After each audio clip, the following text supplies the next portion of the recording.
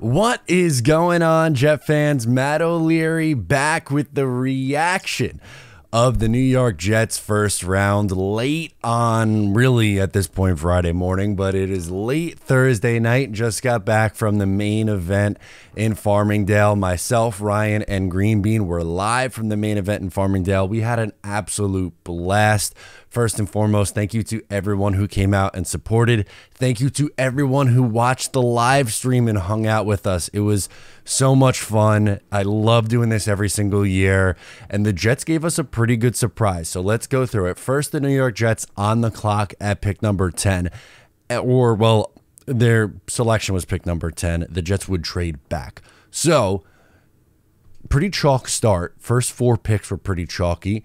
Then you would get uh, Joe Alt at pick five. The Giants pass on JJ McCarthy and instead go with Malik Nabers. Okay. Then you get uh, offensive lineman JC Latham off the board to Tennessee. Okay, like these are making sense for the most part. You would think uh, Atlanta, they probably want to trade out, right? Wrong. They stay and take Michael Penix. An absolute shocker. That is the first shocker of the night.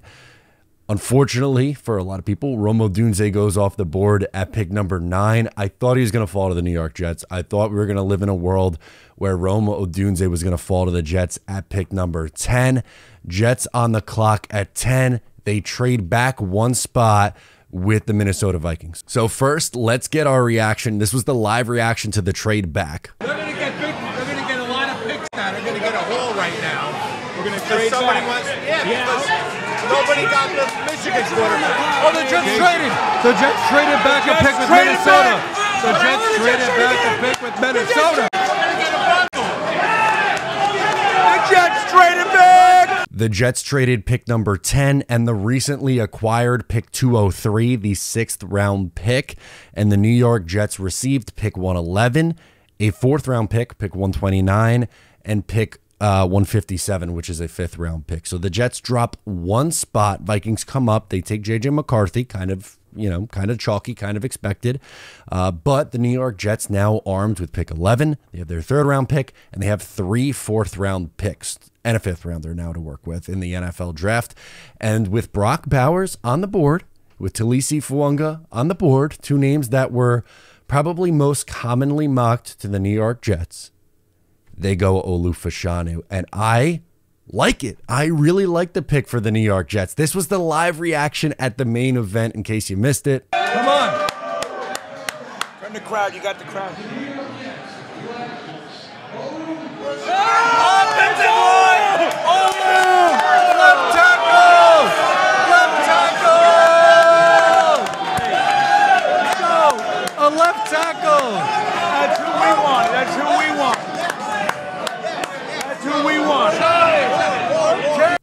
that the Jets went offensive line. That was my preference. It was trade down and go offensive line. Now, I didn't think it would be Olu Fashanu. He is a left tackle. Now, Fuaga, we talked about a lot. Right side of the line, right tackle, right guard. Troy Fautanu, who would go later in the draft, is someone who's played left tackle, can also probably play on the interior as well. But if you're looking for like left side of the offensive line is going to be like a textbook built in a lab left tackle, that's Olu Fashanu. He, in my opinion, is by far the best pass blocking offensive lineman in this class. Does he have a little bit to learn as a run blocker?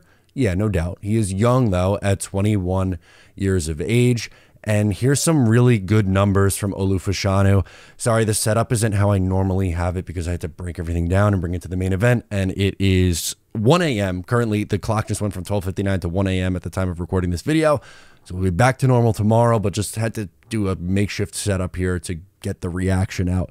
Uh, but here was his three years at Penn State. He did not allow a single sack over that time. He allowed one quarterback hit and 16 quarterback hurries over that span. Really impressive stuff. Um, he's a freak athlete. Uh, he made Bruce Feldman's uh, freak list at number 23. He wrote running a 49740 this offseason, and he had a 463 sh- uh, shuttle time. That 40 would have tied for the best at the NFL combine for all offensive linemen there. Uh, he has the height. He has really good weight. What did I say before? It is six six three twelve. So he's a little bit on the lighter side. He's about 55 pounds lighter than what Mekhi Becton was coming into the league, and stylistically very different, which was the surprise because I thought the Jets would go with like the mauler in the run game, the grinded out kind of mean, nasty offensive lineman. And that's not really Olu Fashanu. That's more Taliese Fuaga, which is why if they went offensive line, that's the, the route I thought they were going to go. But again, if you want a left tackle who's more of a technician with his hands and is going to be you know, able to fight these quick speed rushers off the edge, I think Olu fits that bill. And he who better to learn from than Morgan Moses and Tyron Smith. And as I've said for forever in this draft process, Tyron Smith is not giving you a healthy season, a fully healthy season. It is just not in the cards. It hasn't happened since 2015. He's going to miss time. Morgan Moses has a torn pectoral. He got off-season surgery. They're both 33 years old. They both only have one year left on their deal. And now Olu is going to be in a spot where he doesn't necessarily have to play immediately, but he is going to get on the field and he's going to play because they have two band aid tackles. And this is a pick that's going to help them depth wise in 2024 and help them beyond that. And like I said, there's a very, very good chance that he is going to play a lot this season.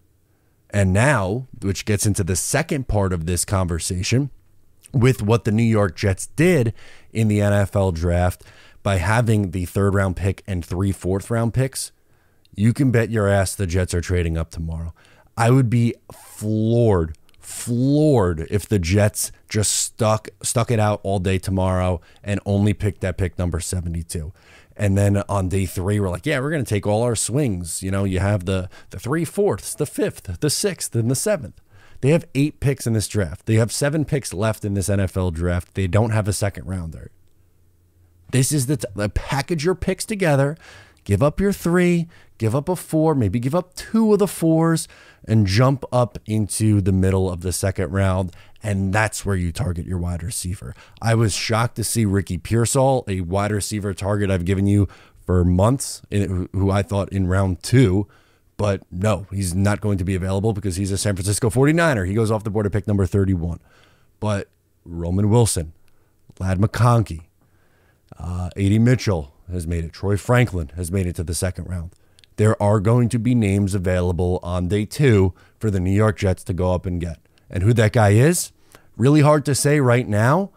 But overall, the Jets move back, only a spot. They get additional capital.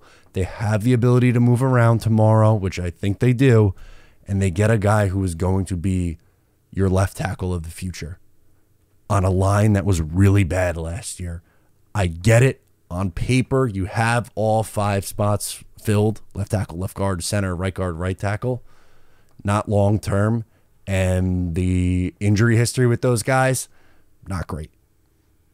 I thought it was going to be Fuaga or Bowers. And the Bowers boys are not handling it well if you checked in on Twitter, it's not going over very well on the Bird app.